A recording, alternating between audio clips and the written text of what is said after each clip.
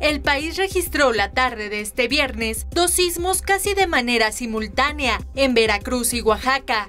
El primer temblor tuvo una magnitud preliminar de 4.8. Sucedió a las 14.34 horas con epicentro en la zona sur de Sayula de Alemán en Veracruz. Este movimiento sísmico alarmó a los habitantes de la región debido a su intensidad y cercanía. El segundo sismo tuvo una magnitud de 5.5 y ocurrió a las 14.35 horas con un minuto de diferencia. Su epicentro se localizó a 40 kilómetros al norte de Matías Romero en el estado de Oaxaca.